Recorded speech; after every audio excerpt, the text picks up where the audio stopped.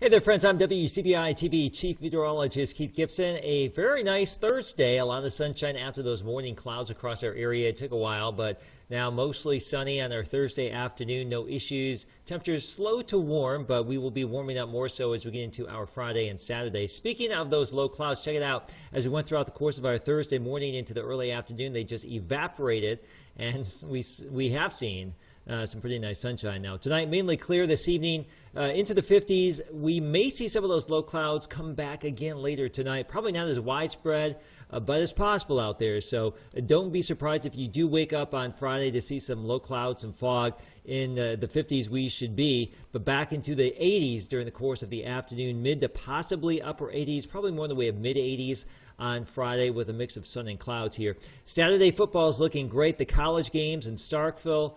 Tuscaloosa and Oxford, no issues whatsoever here. So a pretty nice day of football on Saturday. And even those high school games Friday evening, 70s and 60s under mainly clear skies. You can see for our Saturday, high pressure and firm control. But by Sunday, a front comes on in. It looks like this front's going to be a little bit faster and probably move through the region on Sunday. So there's a chance for a little bit of rain sometime Sunday afternoon, Sunday night, maybe Monday morning.